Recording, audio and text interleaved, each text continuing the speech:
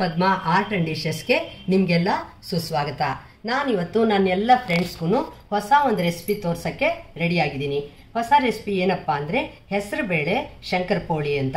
ನೋಡಿ, ಇದಕ್ಕೆ ಹೆಸರುಬೇಳೆ ಒಂದು ಕಪ್ಪು, ಗೋಧಿ ಹಿಟ್ಟು. ಗೋಧಿ ಹಿಟ್ಟು ಒಂಚೂರು ಹೆಸರುಬೇಳೆ ತೊಗೊಂಡಿದ್ದಕ್ಕಿಂತ ಒಂದು ಸ್ವಲ್ಪ ಜಾಸ್ತಿ ತೊಗೊಂಡಿದ್ದೀನಿ.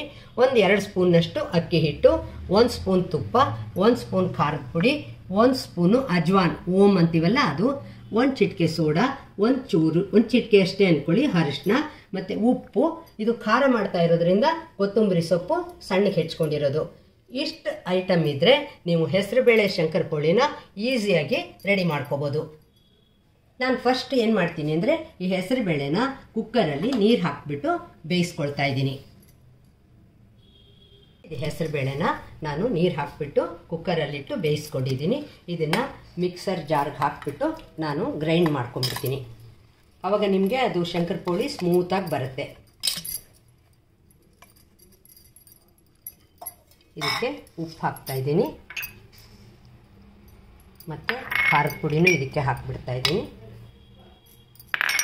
ಮತ್ತು ಅಜ್ವಾನ್ ಹಾಕ್ತಾ ಇದ್ದೀನಿ. ಇದಿಷ್ಟು ಹಾಕಿಬಿಟ್ಟು ನಾನು ಇದನ್ನು ಗ್ರೈಂಡ್ ಮಾಡ್ಕೊಳ್ತಾ ಇದ್ದೀನಿ. ಇದನ್ನು ಮೆತ್ತಿಗೆ ಗ್ರೈಂಡ್ ಮಾಡ್ಕೊಂಡಿದ್ದೀನಿ. ನೀವು ಈ ಥರ ಇದನ್ನು ಶಂಕರಪೋಳಿ ಮಾಡೋದು ಬೇಡ ಅಂದರೆ ಈ ಥರ ಚಪಾತಿ ಕೂಡ ನೀವು ರೆಡಿ ಮಾಡ್ಕೋಬೋದು. ಅಂದರೆ ಡಬ್ಬಿಗಳಿಗೆ ಎಲ್ಲ ಕೂಡ ಇದು ತುಂಬ ಚೆನ್ನಾಗೂ ಇರುತ್ತೆ ಮತ್ತು ಹೆಲ್ತ್ ಪರ್ಪಸ್ ಕೂಡ ತುಂಬ ಒಳ್ಳೆಯದು ನೋಡಿ, ಇದು ಇದಾಯ್ತಲ್ವಾ ಇದಾದಮೇಲೆ ನಾನು ಇದಕ್ಕೆ ಈ ಗೋಧಿ ಹಿಟ್ಟು ಹಾಕ್ಕೊಳ್ತಾ ಇದ್ದೀನಿ. ಉಪ್ಪೆಲ್ಲ ಮೊದಲೇ ಹಾಕ್ಕೊಂಡ್ಬಿಟ್ಟಿದ್ದೀನಿ.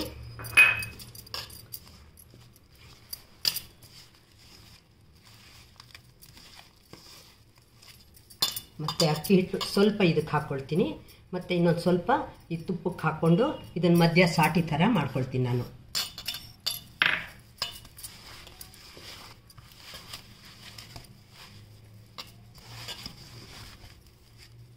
ನೋಡಿ, ಸೋಡಾ ಇದು ಇತ್ತಲ್ಲ, ಇದು ಕೂಡ ಇದಕ್ಕೆ ಹಾಕ್ಬಿಟ್ಟಿದ್ದೀನಿ. ಸೋಡಾ ಮತ್ತು ಅರಿಶಿನ. ಅದಕ್ಕೆ ಆ ಸಾಟಿ ಥರ ಮಾಡೋದಕ್ಕೋಸ್ಕರ ನಾನು ಅದಕ್ಕೆ ತುಪ್ಪಕ್ಕೇ ಹಾಕ್ತಾಯಿದ್ದೀನಿ ಮತ್ತು ಕೊತ್ತಂಬರಿ ಸೊಪ್ಪು ಇದಕ್ಕೆ ಹಾಕ್ಕೊಂಡ್ಬಿಟ್ಟಿದ್ದೀನಿ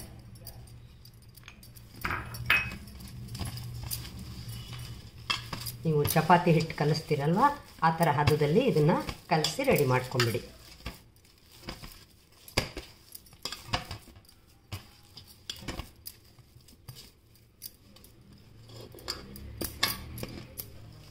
ಇವಾಗ ಇದಿದೆಯಲ್ಲ, ಇದನ್ನು ನೀವು ಚೆನ್ನಾಗಿ ಹೀಗೆ ಕಲಿಸ್ಕೊಂಬಿಡಿ. ಇದನ್ನು ಅಕ್ಕಿ ಹಿಟ್ಟು ಮತ್ತು ಒಂದು ಚಿಟಿಕೆ ಸೋಡಾ, ಒಂದು ಚಿಟಿಕೆ ಅರಿಶಿನ ಮತ್ತು ತುಪ್ಪಕ್ಕೆ ಹಾಕ್ಕೊಂಡಿದ್ದೀನಿ ಒಂದು ಸ್ಪೂನ್ಗೆ.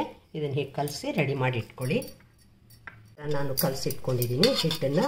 ಇದು ಸ್ವಲ್ಪ ಹಿಟ್ಟು ತೊಗೊಳ್ಳಿ ಹೀಗೆ. ತೊಗೊಂಡ್ಬಿಟ್ಟು ಒಂಚೂರು ಎಣ್ಣೆ ಕೈ ಮಾಡ್ಕೊತಾ ಇದ್ದೀನಿ. ಮತ್ತು ಹಿಟ್ಟು ನೀವು ಗೋಧಿ ಹಿಟ್ಟು ಬೇಕಾದರೆ ಗೋಧಿ ಹಿಟ್ಟು ಹಾಕ್ಕೊಳ್ಳಿ, ಇಲ್ಲ ಚಪಾತಿ ಹಿಟ್ಟು ಬೇಕಾದರೆ, ಇದು ಅಕ್ಕಿ ಹಿಟ್ಟು ಬೇಕಾದರೆ ಅಕ್ಕಿ ಹಿಟ್ಟು ಹಾಕ್ಕೊಳ್ಳಿ. ಇದನ್ನು ನಿಧಾನವಾಗಿ ಹೀಗೆ ಒತ್ಬಿಡಿ.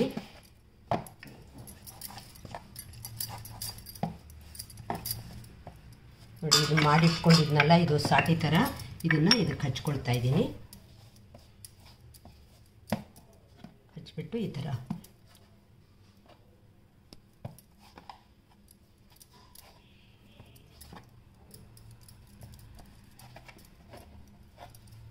ಈ ಥರ ಮಾಡಿಕೊಂಡು ಮತ್ತೆ ಒತ್ತುತ್ತೀನಿ ಅದನ್ನು.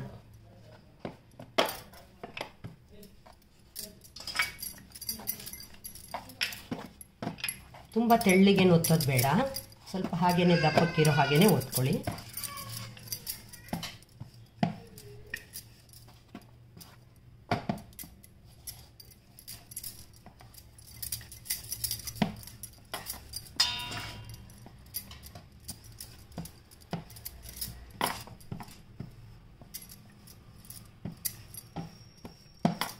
ನಿಮಗೆ ತಿನ್ನೋವಾಗ ಹೆಸರು ಬೇಳೆದು ಅಂತ ಗೊತ್ತಾಗೋದೇ ಇಲ್ಲ. ಅಷ್ಟು ಚೆನ್ನಾಗಿರುತ್ತೆ ಇದು ನೋಡಿ ಹೀಗೆ ನಿಧಾನಕ್ಕೆ ಹೀಗೆ ಕಟ್ ಮಾಡ್ತಾ ಇದ್ದೀನಿ. ಸ್ವಲ್ಪ ಉದ್ದುದ್ದ ಪೀಸೇ ಮಾಡ್ತಾ ಇದ್ದೀನಿ ನಾನು. ಅಂದರೆ ಈ ಥರ ಈ ಥರ ಉದ್ದ ಅಲ್ಲ. ಹೀಗೆ ನೋಡಿ, ಹಿಂಗೆ ಇದನ್ನು ಹೀಗೆ ಕಟ್ ಮಾಡ್ಕೊಳ್ತೀನಿ.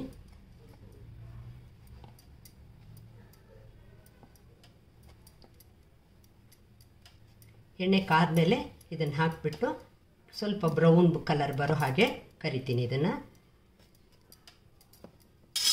ಎಣ್ಣೆ ಕಾಯಕ್ಕಿಟ್ಟಿದ್ದೀನಿ ಇದು ಈ ಥರ ಎಣ್ಣೆ ಕಾದ್ಮೇಲೆ ಹಾಕ್ತಾ ಇದ್ದೀನಿ. ತುಂಬಾ ಚೆನ್ನಾಗಿರುತ್ತೆ ಇದು. ಒಂದು ಸ್ನ್ಯಾಕ್ಸ್ ಥರ ಸಂಜೆ ಈವ್ನಿಂಗ್ ಸ್ನ್ಯಾಕ್ಸ್ ಥರನೂ ಮಾಡ್ಬೋದು. ಮಕ್ಳಿಗೂ ಒಳ್ಳೇದಿದು ನಾವು ಬಳಸಿರೋ ಪದಾರ್ಥಗಳೆಲ್ಲನೂ ಎಲ್ಲ ಮನೆಯಲ್ಲಿ ಅಂಥದ್ದೇ ಬಳಸಿರೋದು. ಒಂಥರ ಬ್ರೌನ್ ಕಲರ್ ಬರೋ ಹಾಗೆ ನೀವು ಇದನ್ನು ಕರೆದುಬಿಟ್ರೆ ತುಂಬ ಚೆನ್ನಾಗಿರುತ್ತೆ ನೋಡಿ.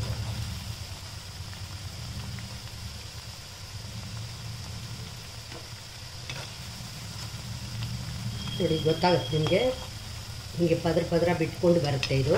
ಯಾಕೆಂದರೆ ನಾವು ಸಾಟಿ ಥರ ಮಾಡಿದ್ದೀವಲ್ಲ ಅದಕ್ಕೋಸ್ಕರ ಇದು ಮಧ್ಯ ಮಧ್ಯ ಎಲ್ಲ ಹೀಗೆ ಬ್ರೇಕ್ ಆದಂಗೆ ತಿನ್ನೋವಾಗ್ಲೂ ಅಷ್ಟೇ ತುಂಬ ಕ್ರಿಸ್ಪಿಯಾಗಿರುತ್ತೆ ಮಾಮೂಲು ಶಂಕರ ಪೋಳಿಗೆ ನಾವು ಈ ಥರ ಮಾಡಲ್ಲ. ಮತ್ತು ಇದಕ್ಕೆ ಹೆಸರುಬೇಳೆನೂ ಹಾಕಿರೋದು ಇನ್ನೂ ಒಂದು ಸ್ವಲ್ಪ ಸ್ಪೆಷಲ್ ಇದು. ಬಂದಾಗ ನೀವು ಇದನ್ನು ಇನ್ನೊಂದು ಹಿಂಗೆ ಜಾಲರಿ ಇಟ್ಕೊಂಡ್ಬಿಡಿ.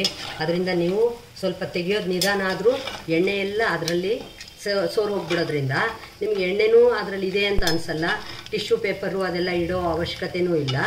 ನೋಡಿ, ಈ ಥರ ಇಟ್ಬಿಟ್ಟು ಅದಕ್ಕೆ ಹಾಕ್ಬಿಡಿ ಹೀಗೆ. ಎಲ್ಲ ಎಣ್ಣೆನೂ ಅದಕ್ಕೆ ಹೀರ್ಕೊಂಡ್ಬಿಡುತ್ತೆ ನೋಡಿ, ಶಬ್ದನೇ ಗೊತ್ತಾಗುತ್ತೆ ನಿಮಗೆ, ಅದು ಕ್ರಿಸ್ಪಿಯಾಗಿ ಆಗಿದೆ ಅನ್ನೋದು. ಸ್ವಲ್ಪ ನಿಧಾನವಾಗಿ ಮಾಡಿದರೆ ಇನ್ನೂ ತುಂಬಾ ನಿಮಗೆ ಚೆನ್ನಾಗಿ ರುಚಿಯಾಗೂ ಇರುತ್ತೆ ಇದು. ಒಂದು ಕಪ್ ಹೆಸರು ಬೇಳೆಗೆ ಎಷ್ಟೊಂದು ಆಗಿದೆ ಅನ್ನೋದು ನಿಮಗೆ ಇದನ್ನು ನೋಡಿದ್ರೇ ಗೊತ್ತಾಗುತ್ತೆ. ತುಂಬ ಕ್ರಿಸ್ಪಿಯಾಗಿದೆ ಇದು. ಮತ್ತು ನೀವು ಎಷ್ಟು ದಿವಸ ಆದರೂ ಡಬ್ಬದಲ್ಲಿ ಹಾಕಿಡಿ, ತುಂಬ ಚೆನ್ನಾಗಿರುತ್ತೆ. ಯಾವಾಗ ಬೇಕೋ ಆವಾಗ ನೀವು ಇದನ್ನು ರೆಡಿ ಮಾಡ್ಕೊಳ್ಬೋದು. ಸುಮ್ಮನೆ ಅಂದರೆ ಹೆಸರುಬೇಳೆ ಯಾರು ತಿನ್ನೋಕ್ಕೆ ಇದು ಮಾಡಲ್ಲ ಅಲ್ವಾ? ದಾಲ್ ಅಂತ ಮಾಡಿಕೊಟ್ರು ಮಕ್ಕಳು ತಿನ್ನಲ್ಲ ಅದನ್ನು. ಅದಕ್ಕೆ ಈ ಥರ ನೀವು ಮಾಡಿದರೆ ಖಂಡಿತ ತಿಂತಾರೆ. ಮತ್ತು ಅವರು ಹೆಸರುಬೇಳೆ ತಂಪು ಕೂಡ ಅಲ್ವಾ? ಮತ್ತು ಇದನ್ನು ನೀವು ಈ ಥರ ಬೇಡ ಅಂದರೆ ನಾನು ಆವಾಗಲೇ ಹೇಳ್ದಂಗೆ ಚಪಾತಿ ಥರ ಒತ್ಬಿಟ್ಟು ನೀವು ಸುಟ್ಟು ಅದನ್ನೇನಾದರೂ ಪಲ್ಯ, ಕರಿ ಜೊತೆಲಿನೂ ತಿನ್ಬೋದು. ನನ್ನ ಚಾನಲ್ಗೆ ಇನ್ನೂ ತನಕ ಸಬ್ಸ್ಕ್ರೈಬ್ ಮಾಡ್ಕೊಳ್ಳದೆ ಹೋದರೆ ಖಂಡಿತ ಸಬ್ಸ್ಕ್ರೈಬ್ ಮಾಡಿ, ಸಪೋರ್ಟ್ ಮಾಡ್ತೀರಾ ಅಂತ ತಿಳ್ಕೊಂಡಿದ್ದೀನಿ